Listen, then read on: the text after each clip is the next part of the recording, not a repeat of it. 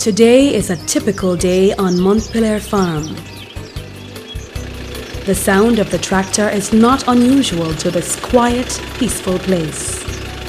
In the distance, the voices of workers can be heard as harvesting begins. As the sun penetrates the soil, the cool breeze acts as a giant fan, keeping the crops cool. Stretching out over 170 acres of land at Bethesda and a packing house at Sanderson is the Montpelier Farm, the largest farm in Antigua. Started by Misha Peretz and Carl Gardner in 2000, the farm presently employs 45 employees, and this number increases to over 60 during peak season. As a major provider of melons like Galia, cantaloupe, honeydew, and watermelon, which are said to be among the finest in the world, Montpelier Farm also produces a number of vegetables like zucchini, yellow squash, table squash, butternut, regular tomatoes, cherry and plum tomatoes, as well as green, red, and yellow peppers.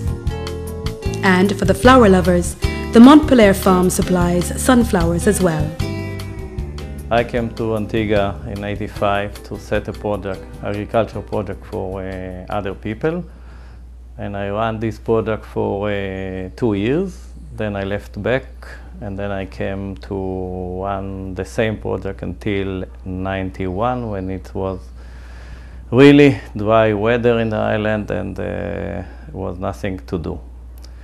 Then I came to visit a friend in 99 and uh, my friend Mr. Carl Gardner was telling me that no agriculture project exists in the island and we decided to start that farm which is in dif a different uh, place, it's in the Willoughby Bay area, uh, to grow vegetable, to be alternative for uh, importation and also to, uh, and the main purpose for uh, export uh, melon, tomatoes, cherry tomatoes, and some other stuff to the European market.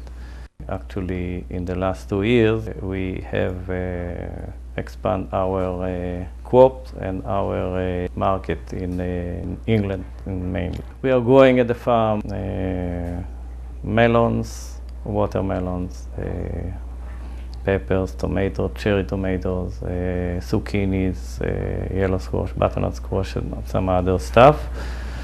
And we had a trial, a commercial trial of papaya, which went uh, good, and the, there is a lot of market for it. And now we are in a process to go over to a full uh, all year round uh, supply papayas and uh, maybe some other uh, some other stuff.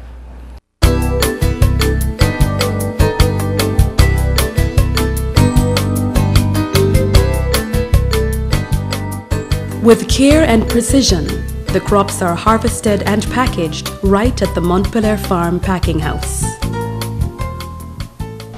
Basically what happens here, after the produce have been harvested from the field, has been transported to this facility.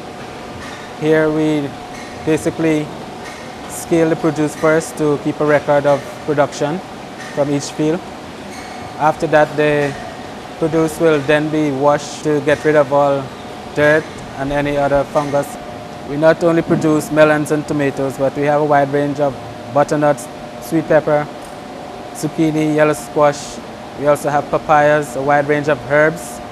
We also have some beautiful sunflowers which can be used as decorations in the businesses or homes or even as a bouquet.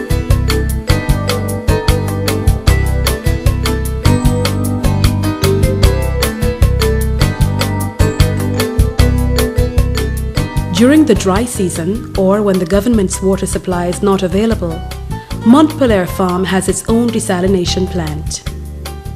Early on, Montpelier saw the need to move away from the inefficient overhead irrigation system and turn to drip irrigation, a more efficient and cost-effective way to irrigate and fertilize the crops simultaneously. This enables the crops to be in good condition for local consumption as well as for exporting.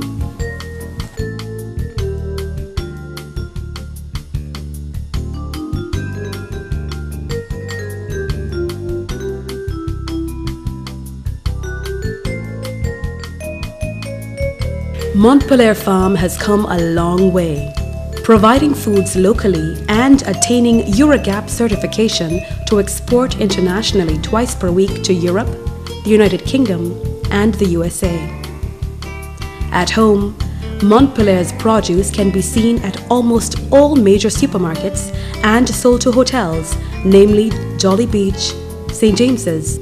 But this is not all for Montpelier Farm. Montpelier Produce is one of the largest, if not the largest, farm on the island. It, for the few people who've known about us, who've ever heard of Montpelier, they would know us as the melon farm because we grow primarily melons.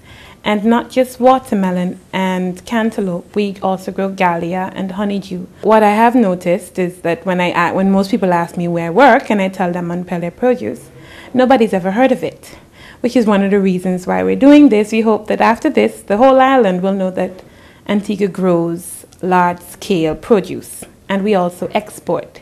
Yes, Antigua exports. We export melons to the United States and to the UK.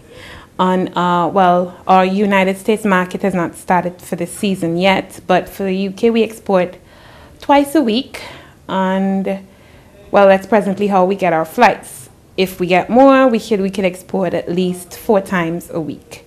So we export. So there are our Antiguan grown melons being sold in the European and the US market. We also sell to most of the major supermarkets on the island. So Antigua is producing large scale produce for exporting since we wanted that not only make our main industry tourism, but we're looking at working on agriculture as well. It has started. So we'd hope that you would come by, not, you know, give us a call and come by and check out the area, check out what we grow, maybe ask for a tour of the farm. And when you go into the supermarket, you go into Epicurean, ask for Antiguan grown melons, and they'll give them to you because they do have them. You can even go into the UK, and when you go to Europe or you go to the US, you can also ask for Antiguan grown melons. Montpelier Produce is doing its part to put Antigua further on the map where agriculture is concerned and export as well. So for those of you who think Antigua only imports, we also export. So I hope now that you know about Montpelier produce and the locally grown large scale melons and vegetables that we grow, when you go to your local supermarket or you visit a hotel, you will ask specifically for Antiguan grown produce. People come from all over the globe to Jolly Beach Hotel. So as an executive chef, I have to insist they get the best quality of fruits and veg. So that's why I insist my purchaser to purchase from Mount Montpelier Farm because they have the best quality of fruits and vegetables. In today's world, eating healthy and knowing where our food comes from is of vital importance. And that is why Montpelier Farm donates to the Holberton Hospital, the mental home, the Boys Training School, and the School Meals Program, which was recently introduced as a pilot project in a number of primary schools across the island. Whether at your local supermarket or the fruit and vegetable market, you are supporting your community when you buy local. So for fresh, nutritious and delicious foods, look for the Montpelier produce.